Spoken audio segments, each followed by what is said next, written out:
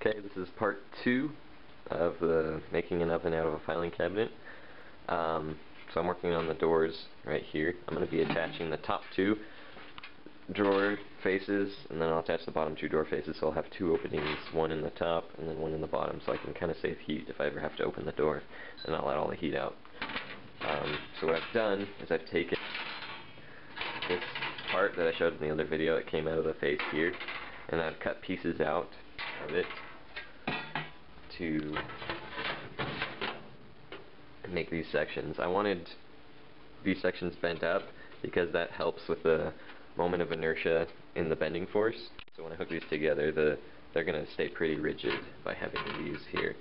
Um, so made sure I had those. These are flat just because they weren't fit. They wouldn't fit under there very well, but this does seem to be pretty rigid. I'm using rivets. I got this, ordered this online. I forget how much it was. It was like 20 something dollars, maybe 30. It's the HP2. Um, I highly recommend it. It seems really nice. I'm not too familiar with rivets, rivet guns, but this seems really solid.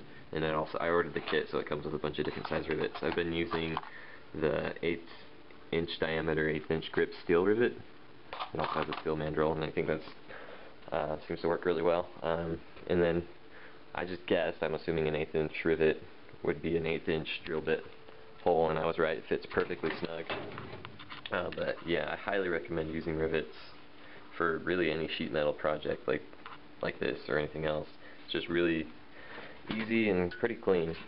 Um, and then I'll be attaching these together, but I'll be adding space, which I'll just show you after this.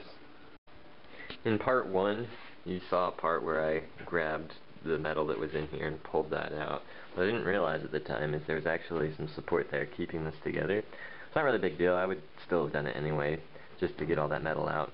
So what I'm going to do is I'm just going to get a scrap piece of metal and stick it in here and just rivet it together there to hold it together. And do the same thing for this side. Okay, so this is just a piece of scrap metal I put back here and I drilled a hole through them both. And now I'm just going to rivet it together.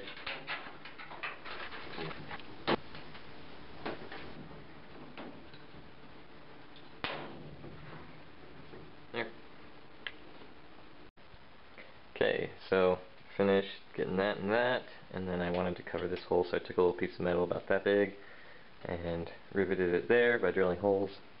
Got this side done, and then if you recall from the last video, uh, this was loose down here, trying to hold the light and not wash it out, but so I put a rivet right, uh, hold it flashlight, so rivet right there, and a rivet right there to hold these solid, and then actually, back here, I also put a rivet, even though it was holding in place, I put a rivet here, and a rivet here on this side, just to make sure that that was sturdy in case it broke loose. So that's what I did for the main housing. And then the doors, got these two riveted together. You can see the rivets in front. Um, I also hooked a couple pieces of scrap here, here, and here to cover up holes. Because there is an open hole there, an open hole down there, open hole here. And to save save on rivets, I just used the screw from the handle as one of the anchors for this particular one. And I did, these two are identical, so I did the same thing on both of these. And that's where I'm at so far. So I got two doors. Move forward. I'm going to get some hinges of some kind, probably that can be used with rivets, and I'll just put hinges on the sides here. Keep moving forward. So I got my insulation in. I uh, ordered it from McMaster. That's all the information on it, and I ordered three. I just measured the surface area and calculated how much I would need. Um, this is one inch thick, and I think that should be good to cover the doors as well as the interior. And this is also rated to a thousand degrees, as it says on their website. This is where I'm at in my plans for the oven components. I went in and calculated the BTUs that I would need for the size of the oven. You can see here I just put in the dimensions and you can see the website up up here that I went to. Um, I don't anticipate getting up to 350 degrees Fahrenheit, but I put that in there to make sure I would have enough wattage. Um, you can see this came out at basically 1400 watts that I'll need. Um, so I went through and I went on this website and found this heating element for 120 volt. 1500 watts should be enough for what the size of the oven that I'm going to use. Um, using this wattage and voltage, I calculated the current that it was going to pull this heating element. So you just take the power divided by voltage. So 1500 watts over 120 is 12 and a half amps.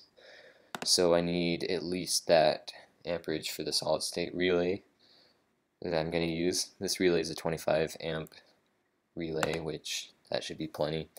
My coworker also has a relay that he said he might give me, so I might use that instead. But this is a relay that I would purchase from Auber Instruments. Uh, this website's really good for lots of PID control up and things. Um, and then next, I need a PID controller to control the temperature that has ramp and soak features because for the curing the composites, it's not going to be just one temperature, but multiple temperatures over varied times. And this particular controller, I believe, has 30 ramp soak uh, features. Um, and then this will just output to the relay that I pointed out earlier. The thermocouple I'm going to use as a K-type, just this one here. It's rated to 780 degrees Fahrenheit, so that's plenty for the purposes of this project. So those are those parts. Um, I'm thinking about doing a convection oven style, so using a fan like this. And then the insulation that I'm using I got from McMaster. I actually ordered that already. It's one inch thick. It's rated to 1000 degrees. Um, I just calculated the surface area of the oven and what I needed. So I needed I think I bought three of these. So that's where I'm at so far in, in the plans.